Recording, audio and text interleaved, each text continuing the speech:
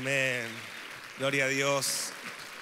Qué alegría inmensa es estar esta mañana con ustedes. Me siento honrado, feliz de estar acá. Eh, gracias al pastor Chaparro, su familia, gente que admiramos, que respetamos y, y es un honor estar con ustedes. ¿Cuántos están felices de estar en esta mañana? Se siente un ambiente hermoso.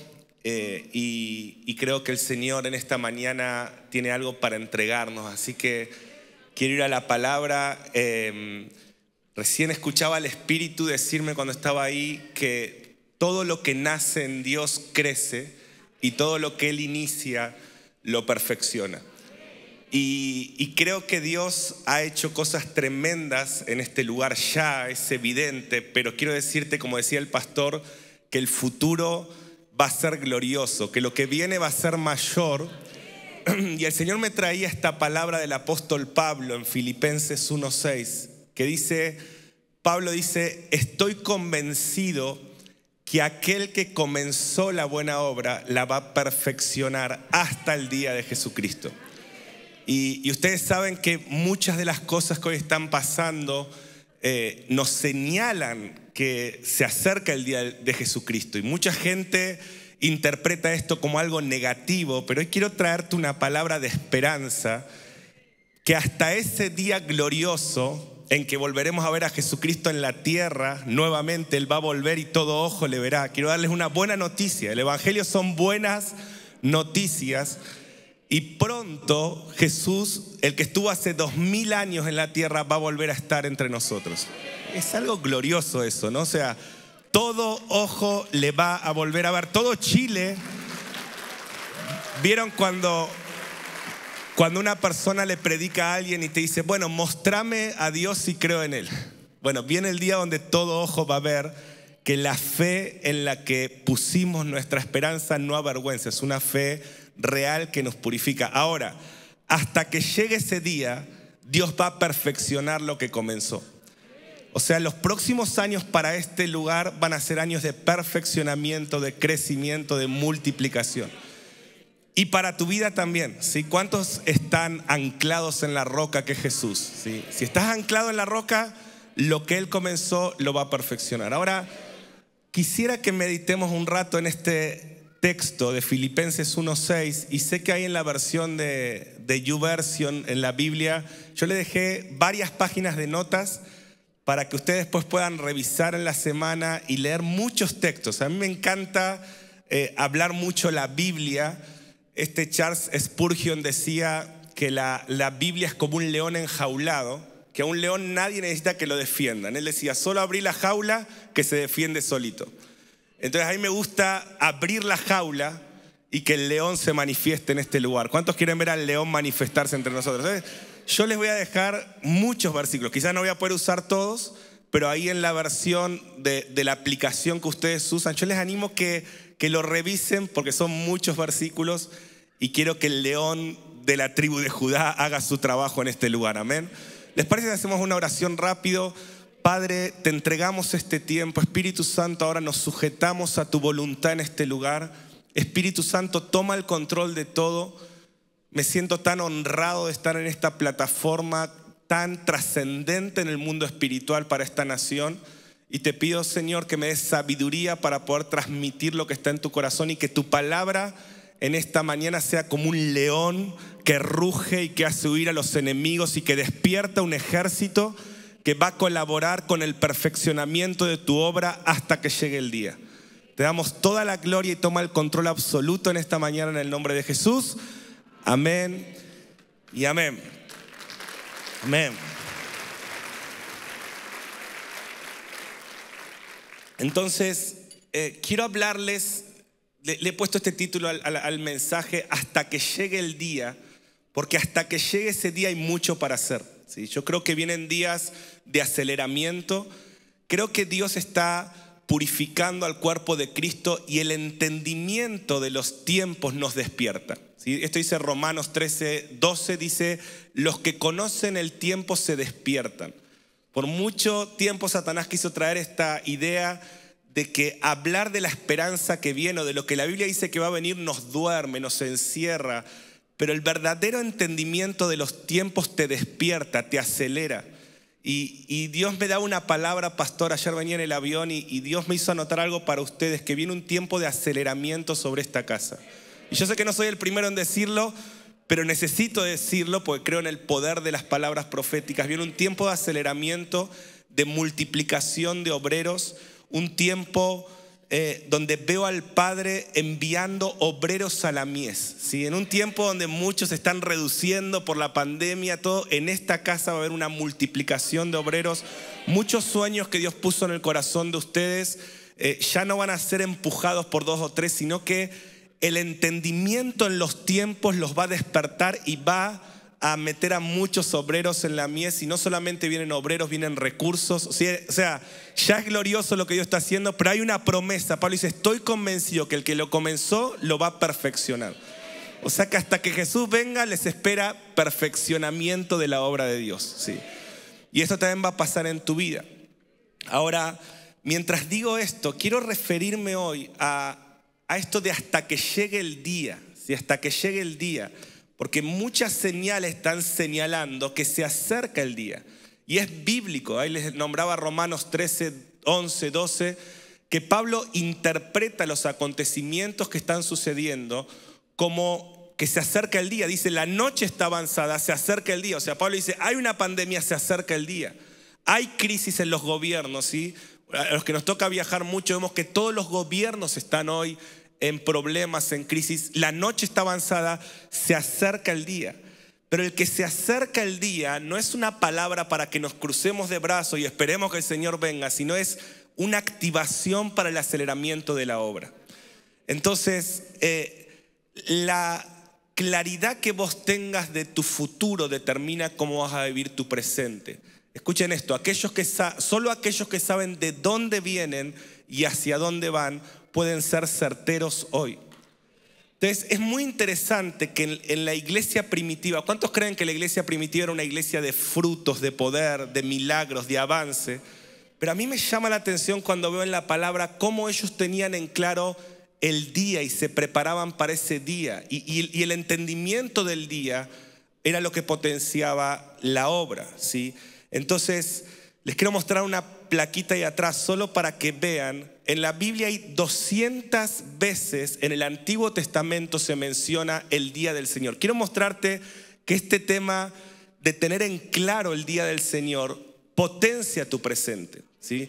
200 veces aparece en el Antiguo Testamento y en el Nuevo Testamento, ¿sí? Miren, solo para que tengan una visión, en la narrativa, en la iglesia, en las charlas, de los creyentes estaba el día del Señor. O sea, y miren cómo lo nombran. Yo ahí en la versión, en, el bosquejo que les dejé, les dejé todas las citas para que la estudien. Pero fíjense, el día de Dios, el gran día, el día de la eternidad, el día de la redención, el día de la visitación, el día postrero, el día grande y manifiesto. Eh, eh, otra vez, bueno, ahí está repetido. El gran día de Dios el Todopoderoso, el día en que el Hijo del Hombre será revelado. O sea, qué glorioso que va a haber un día que Jesucristo será revelado. Y todo ojo, todos los presidentes, todos van a tener que decir, Él es el Señor. Él es el Rey de Reyes. Dice el día de Cristo, el día de Jesucristo, ¿sí? El día de nuestro Señor. Y me gusta ahí al final, porque hay varios versículos que ya cuando hablaban en la iglesia primitiva hablaban de ese día o de aquel día. Como el que les nombraba hace un rato, no se acerca el día. Imagínate lo que eran las charlas de la iglesia primitiva, que era, ¿cómo te preparas para el día? Y si alguien te dice, ¿cómo te estás preparando para el día? Pues el día de mi cumpleaños, el día de, de la Copa América, el día de, no sé, de las elecciones, pero cuando en la iglesia primitiva se hablaba del día, ya estaba intrínseco que ese día era el día en que Jesucristo iba a ser revelado físicamente a toda la tierra, era el día del Señor. Entonces Pablo dice, solo los que tienen claridad, que tenemos un día, el día de Jesucristo, podemos ser perfeccionados en la obra. La revelación del día perfecciona la obra y esto era lo que vivía la iglesia primitiva.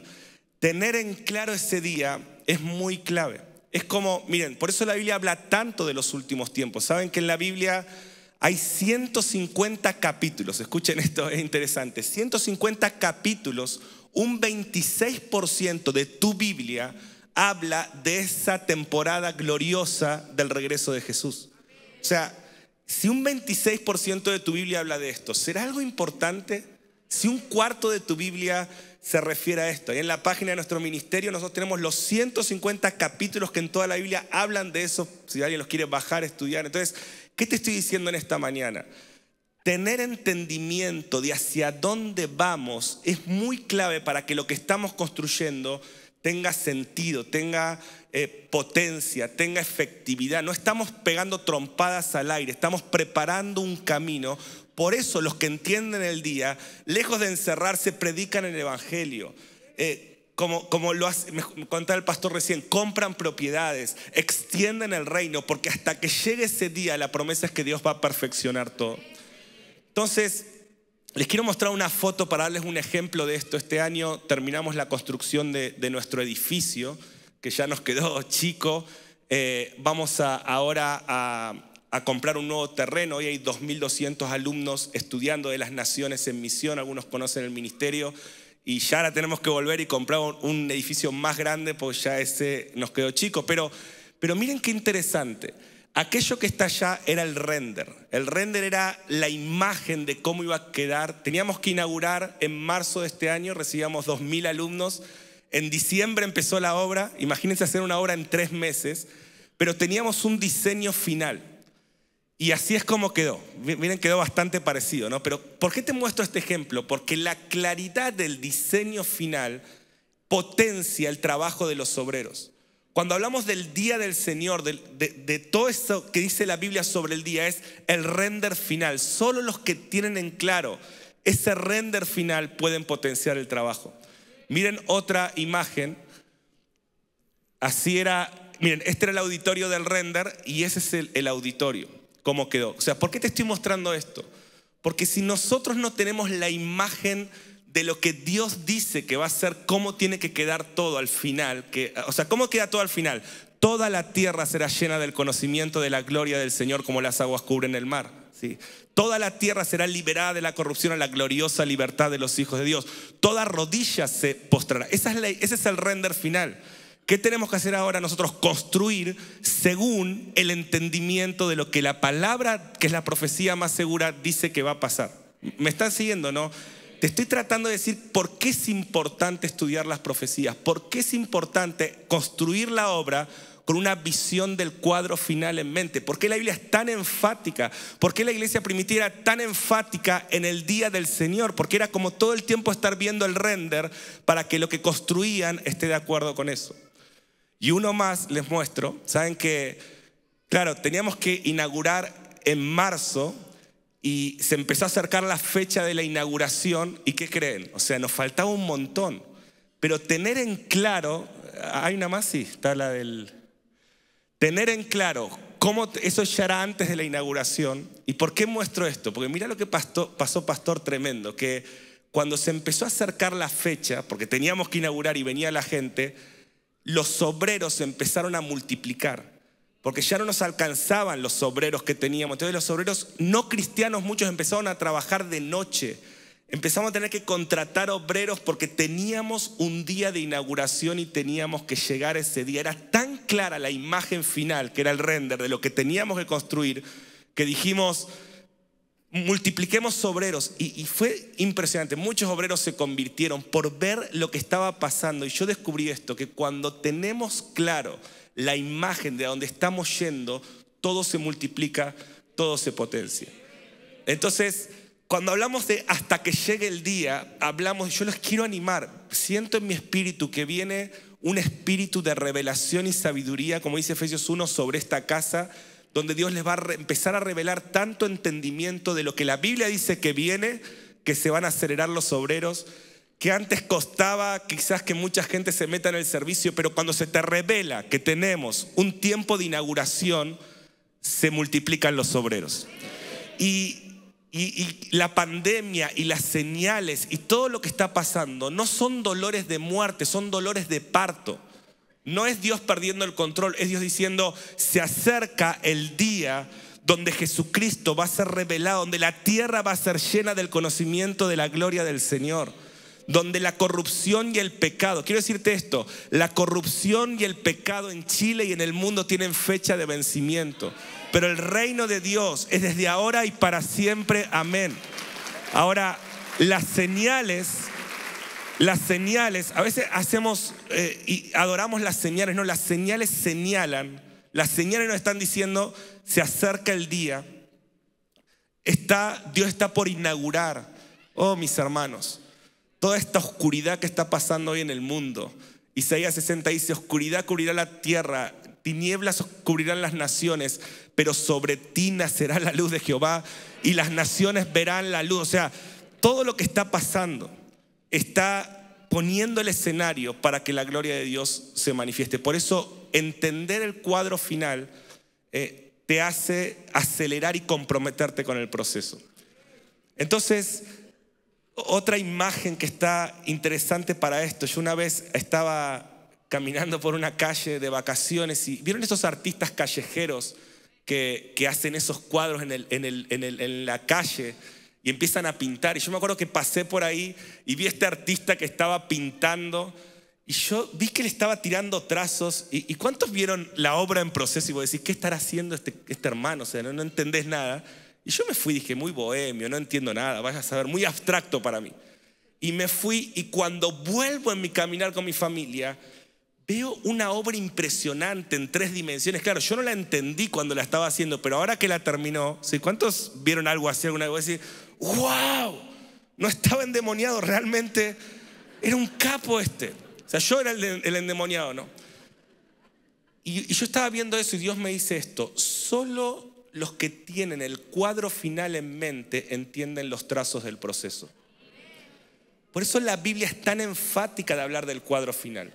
Apocalipsis no es un libro de terror, es el cuadro final de cuando Dios juzgue a todos sus enemigos y sea el rey de toda la tierra. Déjame decirte esto, Él murió con una corona de espinas, con una ironía, el rey de los judíos, pero Él vuelve con una corona de diamantes y con una certeza, el rey de todos los reyes, el Señor de todos los señores. Él murió con los ojos llenos de sangre, pero vuelve con los ojos llenos de fuego.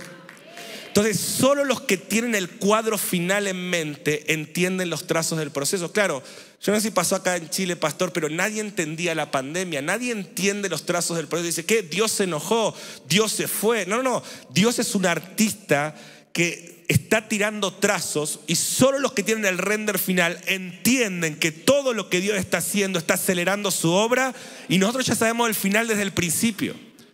Pues déjame decirte esto, cuando venga Jesús no termina nada. Perdón, solo termina el reino de las tinieblas. Cuando venga Jesús realmente comienza todo. De hecho, ahí en Apocalipsis vemos cuando está descendiendo la nueva Jerusalén, el Padre dice, he aquí hago nuevas todas las cosas. Las cosas primeras pasaron. O sea, Dios dice, los miles de años de historia para mí son las cosas primeras. Imagínate lo que será la eternidad, que esas son las cosas primeras. Entonces nosotros tenemos una esperanza y Pablo dice, el que tiene esta esperanza se purifica, perdón, dice 1 Juan 3.3, dice, los que tienen el render final se purifican, se aceleran y entienden los trazos del proceso y en vez de quejarse, quiero decirte que Dios está pintando una gran obra, ¿sí? Y vos sos parte de esa obra. Y por eso es importante, déjame, te voy a dejar tres consejos en esta mañana tenemos que conocer lo que viene. Decir conmigo conocer. Tenemos que conocer, tenemos que predicar. Decir conmigo predicar y tenemos que pelear.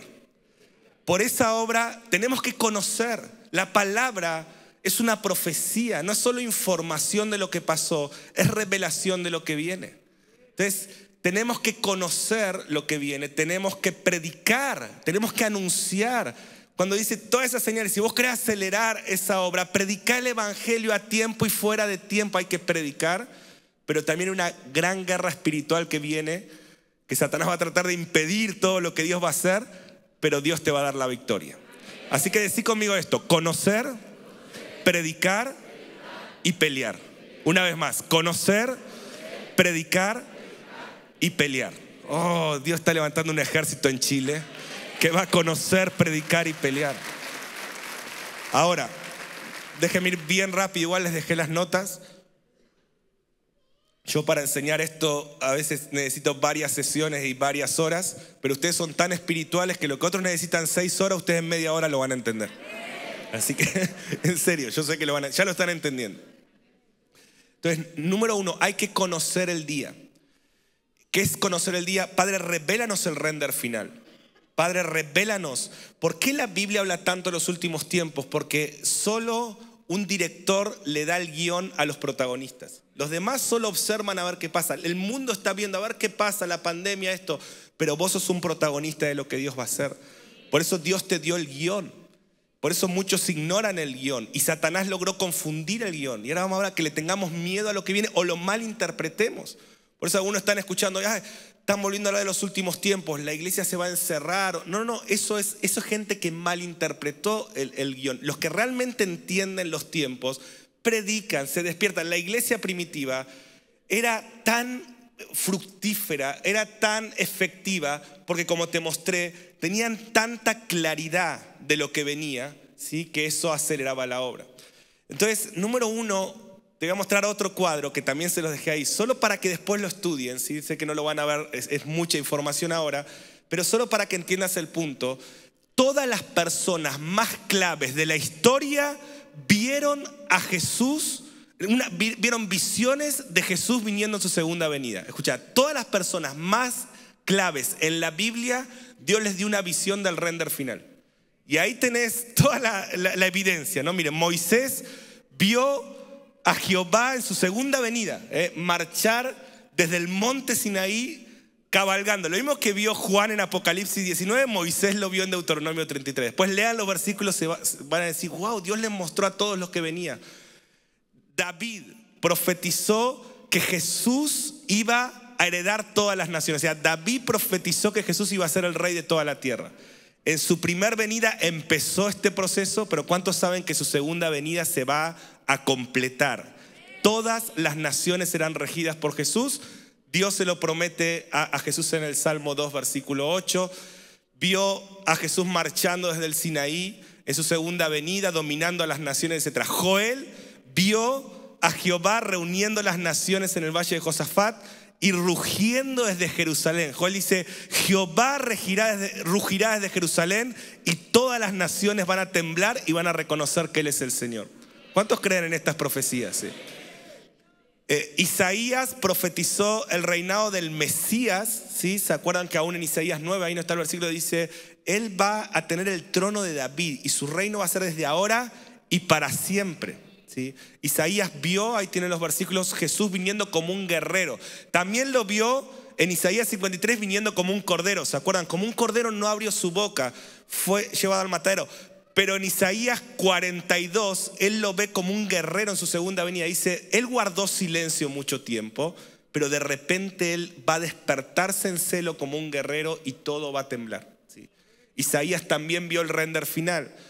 Daniel vio al Hijo del Hombre venir en las nubes, ¿se acuerdan de Daniel 7? Él vio al Hijo del Hombre que venía y que tomaba todo el gobierno y todo el dominio de la tierra. O sea, Daniel vio que todo Chile iba a adorar a Jesús.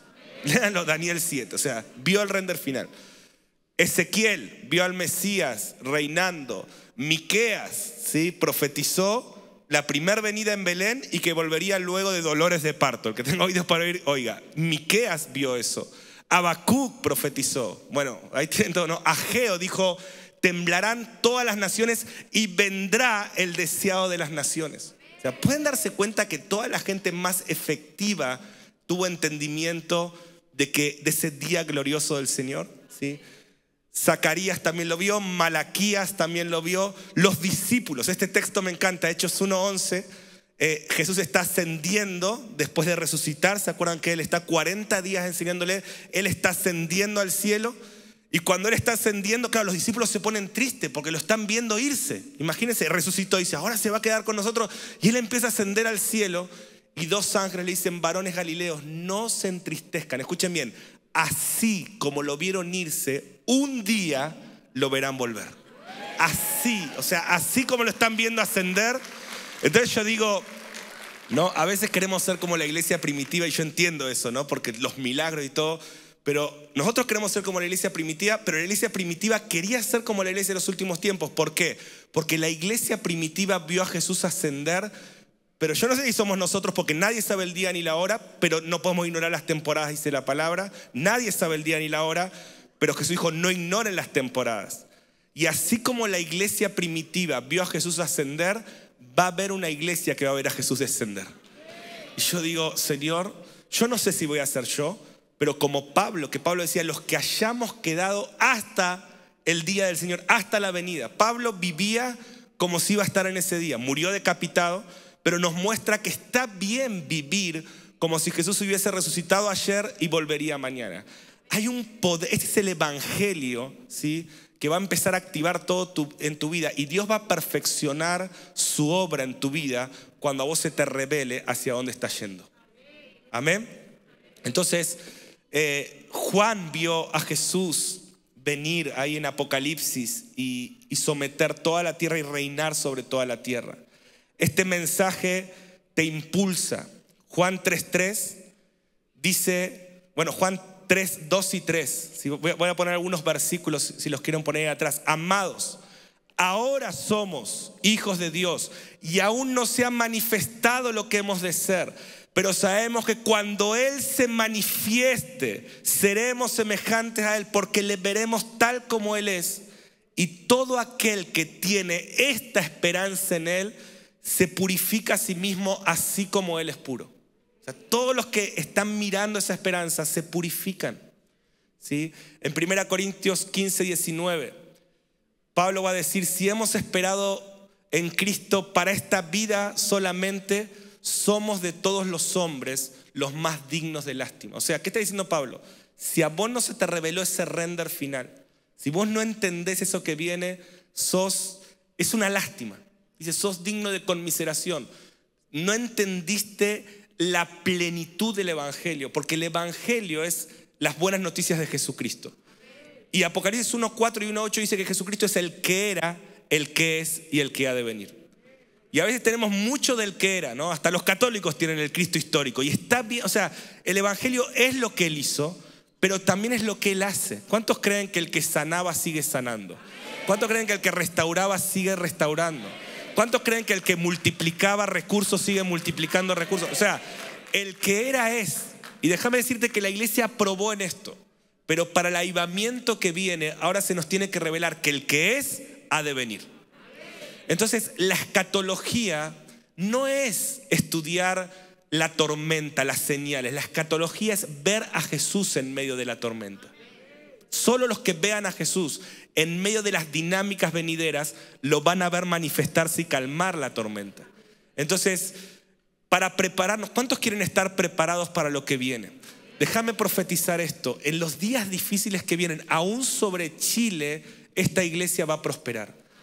La lluvia que va a ahogar a muchos va a hacer florecer a los que estén cimentados en Cristo. Oh, recibí esta palabra, recibí esta palabra la misma lluvia que para muchos, como está pasando, circunstancias difíciles a causa del pecado del hombre, pero los que tienen revelación y están viendo no la tormenta, sino a Jesús, lo verán calmar la tormenta.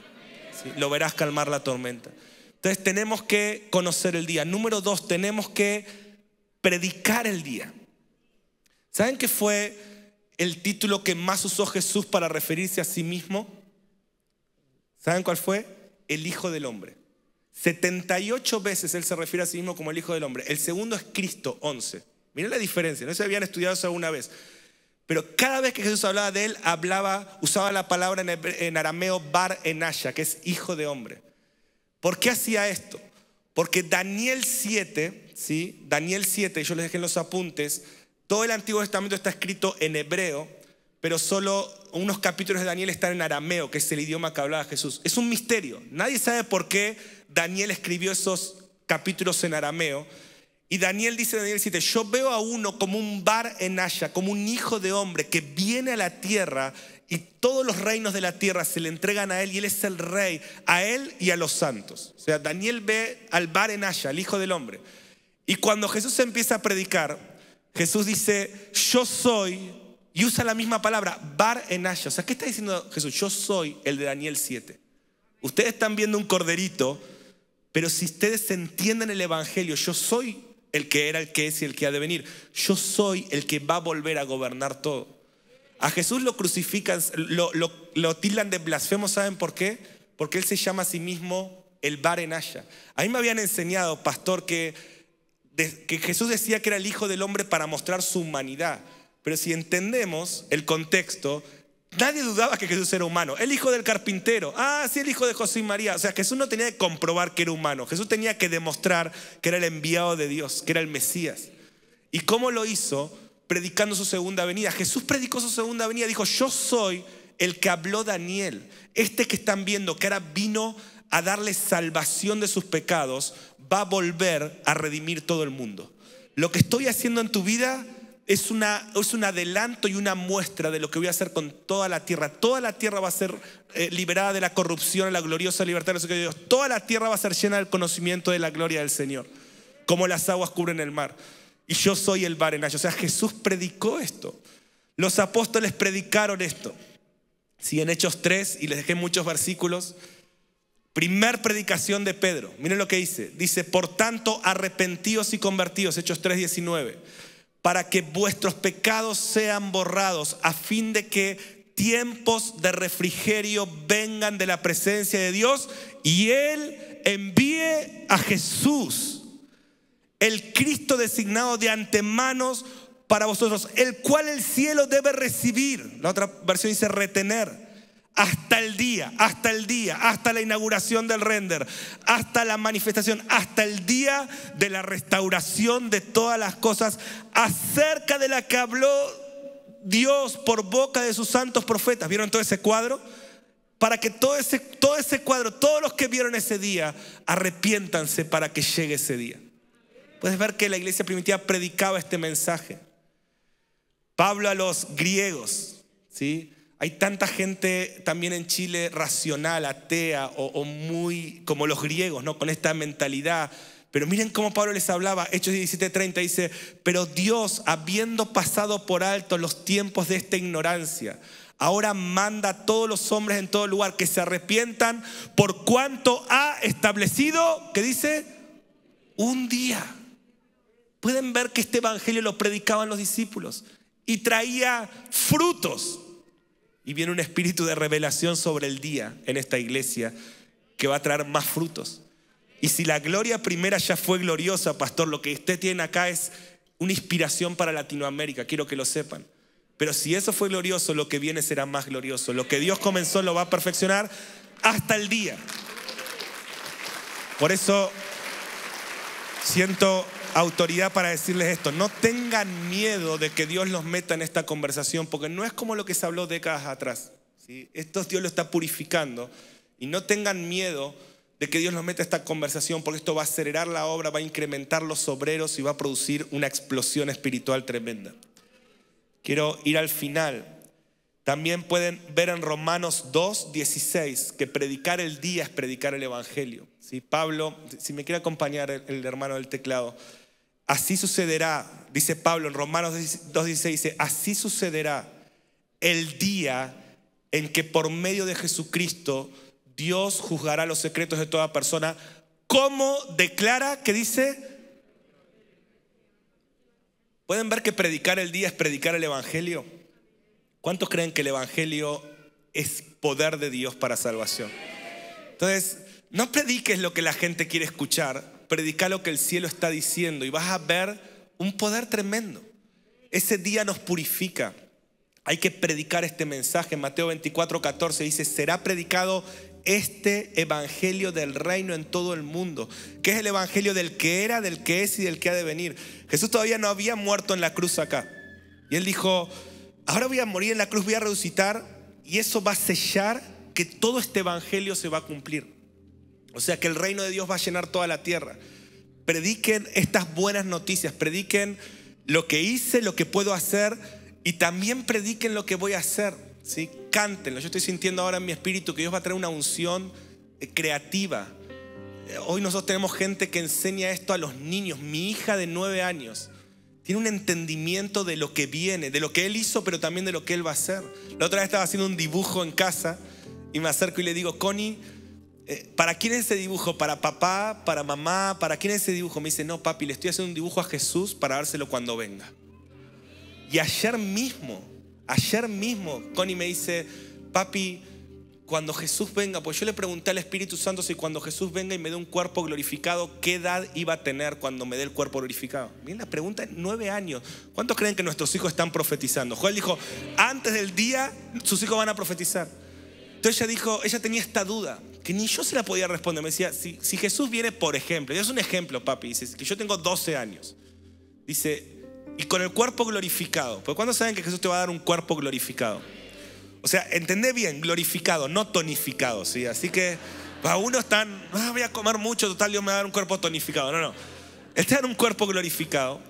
Y Connie dice, papi, eh, si yo tengo 12, por ejemplo, ¿cuántos años voy a tener? Porque vamos a reinar con Jesús sobre la tierra, dice Apocalipsis 5.10. Dice, nos ha hecho reyes y sacerdotes y reinaremos sobre la tierra, o sea, con un cuerpo glorificado. Dice, papi, ¿cuántos, cuántos años voy a tener? ¿Para siempre 12? yo no le podía responder eso. Me dice, papi, ya me respondió Dios. Me dice ayer. Me dice, porque cuando el cuerpo glorificado no va a tener edad. Dice, porque ya no va a haber muerto. O sea, va a ser nuestra mejor versión. Porque Dios va a restaurar todo a su mejor versión. Dije, ¿por qué no predicas mañana vos lo del pastor Chaparro en vez de yo? Porque se está en otro nivel, hija. Dios va a levantar creatividad para enseñarle a nuestros hijos.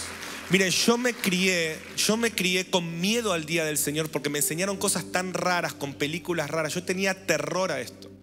De hecho, a mí, déjenme decir esto en un minuto, a mí me enseñaban esta idea de que Jesús venía como un ladrón, que el día del Señor era un ladrón que te venía a robar. Y yo creí eso. Y, déjame mostrártelo en la Biblia en un minuto que no, la Biblia no dice eso completo. Miren, primera Tesalonicenses, un último versículo 5. Primera Tesalonicenses 5, Acompáñenme porque muchos de ustedes quizás escucharon esto. Ah, el día del Señor viene como un ladrón, ¿no? Primera Tesalonicenses 5, verso 1, miren, leámoslo juntos. Dice, pero acerca de los tiempos y de las ocasiones no tenéis necesidad, hermanos, de que yo os escriba, verso 2. Porque vosotros sabéis perfectamente que el día del Señor vendrá así como ladrón en la noche. Muchos cerraron su Biblia y dijeron, ah, no hablemos del día del Señor, pues es un ladrón. Y yo cuando era chiquito no quería que venga un ladrón. Yo dije, yo no quiero el día del Señor, voy a predicar de todo menos de eso. Pero miren cómo sigue hablando Pablo, porque a veces Satanás dice, no puedo impedir que lean la Biblia, pero que la lean mal, ¿no? Sigue, verso 3, que cuando digan paz y seguridad, entonces vendrá sobre ellos destrucción repentina, como los dolores de una mujer encinta no escaparán, verso 4. Mas vosotros, hermanos, no estáis en tinieblas para que ese día los sorprenda como un ladrón. ¿Pueden ver eso? O sea, ¿Por qué no me enseñaron ese versículo? Él viene como un ladrón para los que son de la noche. Claro que los que no están aceptando la gracia del Evangelio va a ser un día terrible, pero para vos va a ser un día grande y glorioso. Porque dice, vos no estás en tinieblas para que ese día te sorprenda como un ladrón, sino que dice, dice, porque todos vosotros son hijos de luz e hijos del día, no somos de la noche ni de las tinieblas, verso 6. Por tanto, no durmamos como los demás nos velemos y seamos sobre. Entonces, un par de ideas más y oro para terminar. Jesús para nosotros no viene como un ladrón en la noche, viene como un esposo del día. Dice Mateo 25, se dice, aquí viene el esposo.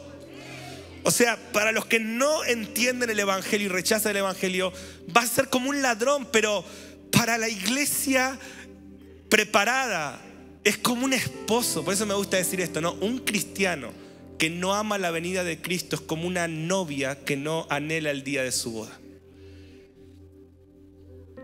¿Qué pasa los que somos pastores cuando nuestros jovencitos dilatan y no esperan el día de su boda se corrompen? La iglesia que no espera el día de su boda, se corrompe. O sea, hoy es tremendo el Evangelio. Pablo dice, amamos a alguien que nunca vimos y es tremendo. Yo estoy perdidamente enamorado de Jesús, perdidamente enamorado de Jesús. Me siento el hombre más privilegiado del mundo por estar predicando el Evangelio acá y en muchos lugares. Pero escucha esto, hoy vemos en parte, pronto mi hermano que estás ahí vas a ver a Jesús cara a cara. Hoy ves en parte. Y esto es como cuando uno se pone de novio, ¿no? O sea, es lindo el noviazgo, Pero el matrimonio es otro nivel, es, no te separas más. Hoy vemos en parte, pero lo vamos a ver cara a cara.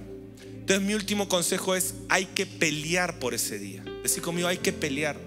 Y ahí te dejé los apuntes, pero va a haber una gran guerra espiritual. Hoy la guerra espiritual es para que no llegue ese día. Satanás dice, ya los perdí, ya perdí que crean en el que era, ya perdí que experimenten al que es, que no vean esta esperanza, porque esa esperanza va a producir un aceleramiento en el cuerpo de Cristo a nivel mundial como nunca antes. Aún si ven algunos vacíos que lo malinterpreten, que no entiendan el render, que lo vean difuso, porque el entendimiento de los tiempos te despierta. Entonces, dice, va a haber una gran guerra, termino con esto, pero Apocalipsis 17, 14 dice, pelearán contra el Cordero y el Cordero los vencerá.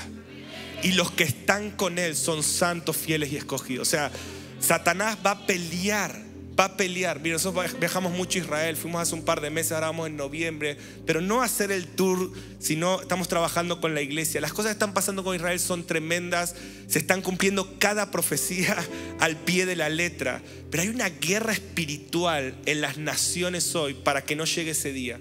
Pero ¿cuántos creen esto? Pelearán contra el Cordero y el Cordero los vencerá. Y los que están con él, o sea, vos lo vas a vencer con él. Y, y, mi último versículo es Apocalipsis 12:11. Alguien que estuvo en el futuro, me esta guerra espiritual. ¿Cuántos creen que estamos en una guerra espiritual sin precedentes? Satanás está atacando la fe, está atacando la adoración, está atacando la salud. Yo sé que y veo en mi espíritu ahora Satanás tratando de atacar esta casa. Veo como eh, demonios y principados, pero está vencido. Pero va a haber guerra. Si Apocalipsis 12:12 dice que Satanás arremetió con todo porque le quedaba poco tiempo. Cuando a Satanás le queda menos tiempo, más fuerte pega, pero resiste y persevera porque él está vencido. Satanás está atacando. De hecho, veo esto como que, no sé si fue ahora, pero hay como ataques a esta casa, pero son manifestaciones de Satanás porque no van a poder parar el avance que viene sobre este lugar. De ustedes no, no se enfoquen en la tormenta, ¿sí? que la gente diga lo que diga, ¿sí? pero los frutos van a proteger la semilla. Por los frutos van a saber que la semilla de esta casa es buena y no van a poder detenerlo. Pero me encanta esto que dice alguien que estuvo en tu futuro, Apocalipsis 12:11 dice, ellos le han vencido. Termino con esta idea. Alguien que estuvo en tu futuro dice que venciste. Dice, ellos le han vencido. O sea, esto es tu futuro. Te estoy diciendo, alguien que estuvo en tu futuro, dice, pelea, porque ya venciste. Ellos le han vencido por la sangre del cordero, por la palabra del testimonio, menospreciando su vida. O sea, no sé si me estás escuchando. Vos estás peleando hoy por tu matrimonio, pero alguien que estuvo en tu futuro dice, sigue peleando, porque yo ya vi el final y vences. Vences, vences, vences, vences. Tus hijos están apartados, alguien que estuvo en tu final dice, sigue peleando, porque al final vences le han vencido. Estás peleando con pecados, con inmoralidad. Porque el Señor nos ama en medio de nuestras luchas, porque Él ya vio nuestro futuro y sabe que vamos a vencer. Por eso entender los tiempos te despierta. Por eso quiero orar, si puedes ponerte de pie, quiero orar para que Dios traiga armas espirituales para pelear esta batalla y construir esto. Cuando empezó esta guerra de Ucrania y Rusia, el presidente de Ucrania, eh, Zelensky creo que se llama, él dijo esto. Dice que Estados Unidos le dijo, tenemos una, esto fue febrero, yo estaba predicando en Estados Unidos y veo la noticia que dice que Biden le dice al presidente Zelensky, tenemos un avión de rescate listo para exiliarte y sacarte de Ucrania, se venían los rusos. Y me encantó esto, pastor, que este hombre dijo esto. Dijo, yo no quiero avión de rescate, mándennos armas, queremos pelear. Y cuando él está diciendo esto, dice, esa es la iglesia de los últimos tiempos. Mientras muchos quieren avión de rescate, no sáquennos de acá, se está poniendo feo. Y muchos hablan del regreso de Cristo como encerrémonos hasta que nos manden un avión de rescate.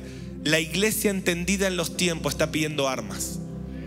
Padre, danos armas para pelear, danos más fe, danos más adoración, danos más intercesión, danos más profecía, danos más dones, danos más prosperidad, danos más recursos. Señor, Danos la, habilidad de poder comprar 20 terrenos más para construir bases, porque no queremos aviones de rescate. La iglesia, Cristo la única esperanza, quiere armas para pelear la guerra que está por delante. Dios va a levantar un ejército de soldados en este lugar que tiene revelación de lo que viene y pelea la buena batalla, porque aquel que ya vio el final desde el principio dice que vas a vencer. Por eso continúa peleando, vale la pena. No pierdas la fe, no pierdas la esperanza. Sirve más tiempo, ora más tiempo, predica más tiempo, porque ese día viene. Porque Él viene pronto y su galardón con Él. Levanta tus manos al cielo y ora el Salmo 144. Dile, Padre, adiestra mis manos para la batalla. Adiestra mis manos para la batalla. Padre, en el nombre de Jesús, yo quiero profetizar sobre esta casa que viene un tiempo de un ejército que se empieza a entrenar. Oh, veo, veo, los veo a todos ahora en mi espíritu como vestidos para la guerra. Y viene una gran guerra sobre Chile, pero Dios está preparando un ejército, un ejército, un ejército que va a pelear la batalla que viene. Esta casa, esta comunidad va a ser clave para la victoria que viene sobre Chile. Hay un ejército, van a pelear en las universidades, en las plazas, van a pelear en los colegios. Dios te está dando armas espirituales, armas espirituales. Dios está reclutando para la batalla. Viene mucha guerra, pero viene mucha victoria. Dios saca todo espíritu de miedo de lo que viene. Eres libre del miedo. Para esta hora Dios te preparó. Son más los que están con nosotros que contra nosotros. Con Dios somos mayoría. Con Dios somos mayoría. Veo en mi espíritu generales en este lugar. Dios va a levantar referentes. Dios va a levantar hombres y mujeres claves para lo que viene. Dios te va a dar autoridad. La revelación de lo que viene te va a dar autoridad. Yo declaro armas para la batalla. Levanta tus manos un minuto más. Declaro fuerzas ahora. Dios renueva tus fuerzas. Aquel que vio tu final y se continúa peleando. Al final tus hijos son sanos. Al final tu casa es restaurada. Al final ese negocio sale adelante. Al final el que vio tu final dice por la sangre del cordero, por el testimonio vas a vencer. Y Padre, en esta hora te pido espíritu de revelación y sabiduría en los últimos tiempos. Despierta hambre por este mensaje. Quiero profetizar que esta casa será una referencia para Chile, con un entendimiento correcto en lo que viene, con una perspectiva correcta. Dios va a multiplicar creativos, van a enseñar a los niños, van a enseñar a los jóvenes, van a enseñar a las familias. Saldrán canciones, saldrán libros, saldrá arte, saldrán eh, negocios que van a acelerar la obra para el día de la inauguración. Te damos toda la gloria en esta hora. Y el Espíritu y la esposa dicen, ven. Puedes decir con tus manos en alto, ven Jesús, ven Jesús. El Espíritu y la esposa dicen, ven. Y todo el que oye dice, ven. Y la novia que espera la boda dice, ven, dile, ven amado. Vamos, levanta tu voz un último minuto, dile, ven amado, ven amado. Es hermoso lo que estamos viviendo, pero un poquito más de tiempo y el que ha de venir vendrá y no tardará. En el nombre de Jesús te damos toda la gloria y declaramos que todo Chile reconocerá que Jesucristo es el Señor. Pronto todo ojo chileno le verá. Toda rodilla chilena se doblará. Y toda boca chilena confesará que Jesucristo es el Señor y el Rey de toda la tierra. En el nombre de Jesús. Amén.